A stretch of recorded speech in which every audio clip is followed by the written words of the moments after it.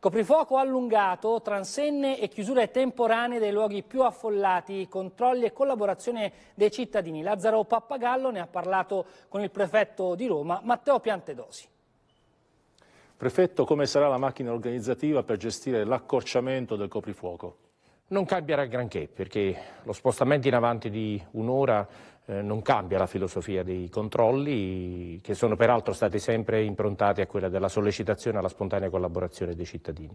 Come organizzerete concretamente il servizio?